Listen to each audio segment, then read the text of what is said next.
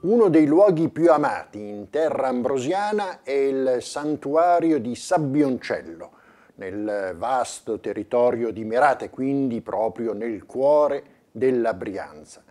Si tratta della chiesa di Santa Maria Nascente, che ancora oggi è proprio frequentata da fedeli, ma anche dagli amanti proprio dell'arte, per quei piccoli capolavori che conserva e ancora oggi presenta. Infatti appena entrati si è veramente colpiti da queste pareti che sono colme, piene proprio dal pavimento fino alla volta di affreschi, di dipinti.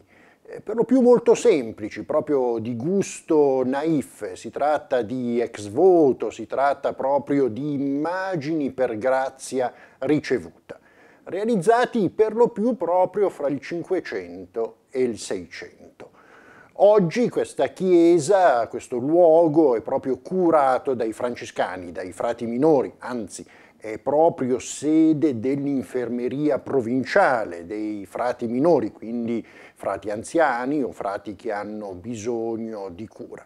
Ma la storia proprio, lo dicevamo, è antichissima di questo luogo, tanto da dire che probabilmente quassù, in questa collina, una chiesa, un luogo sacro c'è sempre stato ma fino al Cinquecento era abitato, frequentato dai eremiti, ci sono anche delle storie veramente bellissime.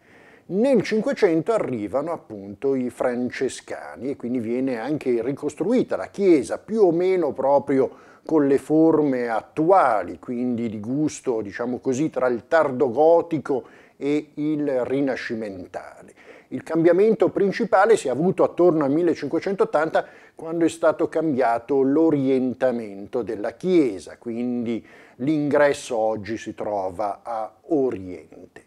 Interessante che qui fu chiamata proprio una comunità particolare di francescani, quelli che seguivano il carisma di Fra Amadeo Mendes da Silva, personaggio veramente interessante della Milano del 400, che divenne consigliere, guida spirituale dei signori di Milano dell'epoca e che ebbe grande fortuna, tanto appunto da fondare conventi molto importanti, Santa Maria della Pace a Milano, Bressanoro nel Cremonese e questo proprio in Brianza. Una spiritualità davvero molto mariana.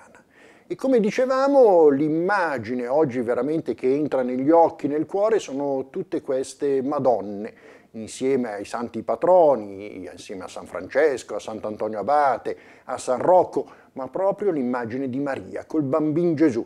E in particolar modo la Madonna Maria che allatta suo figlio, le Madonne del latte, così tenere, così amate, che ancora oggi possiamo proprio vedere a Sabbioncello un tempio, un luogo della Madre di Dio, della maternità umana e divina.